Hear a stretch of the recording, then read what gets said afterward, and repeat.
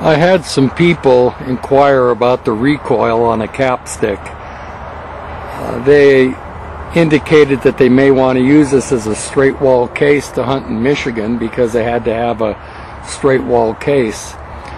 Uh, better than try to describe it, I'll just show you. It's uh, pretty stiff. I'll shoot a 275 grain bullet first, then I'll shoot a 400 grain bullet, and then we'll shoot a 500 grain bullet and uh, I think it'll give you a pretty good idea.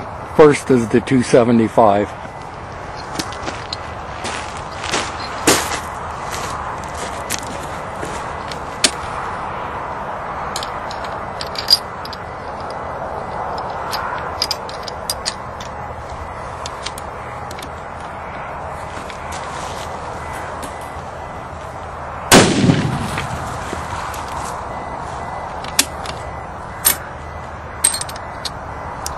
Now we'll go with a 400.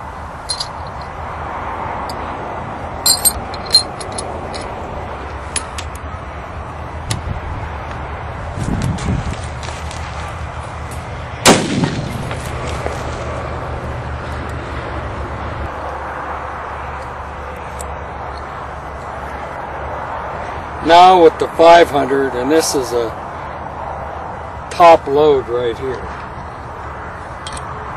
I'm a little bit leery of this.